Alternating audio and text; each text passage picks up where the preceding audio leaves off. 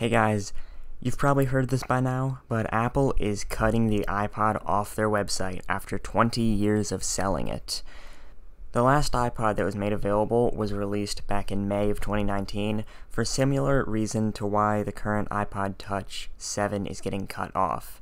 They released the Touch 7 due to the iPod Touch 6 running the A8 chip, which was getting cut off not even a month later in iOS 13.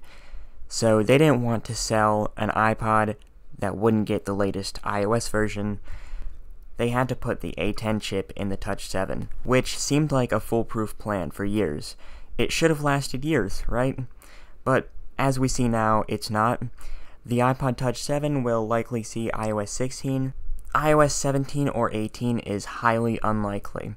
It will be the last 4 inch device to get iOS 16. This runs a heavily downclocked version of the iPhone 7's chipset, and the iPhone 7 is from 2016.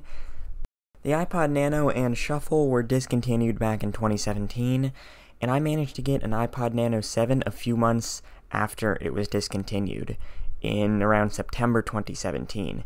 And I still have it to this day, although I can't find it right now. I saw it a few months back.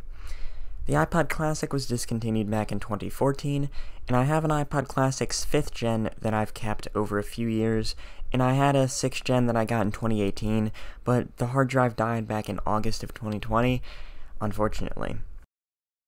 Apple had all the reasons to kill the iPod off, but now that iOS 16 is very close to being released, it's time for them to let the iPod Touch go, and we can't really do much about it. I'd love to buy one, but dropping that much money on an old, outdated piece of tech is not something that's very smart of me to do. But thank you to Apple for the iPod. The Touch 4 was, if I remember correctly, the first personal device I ever had, as I didn't share it with family or anyone else. It was mine.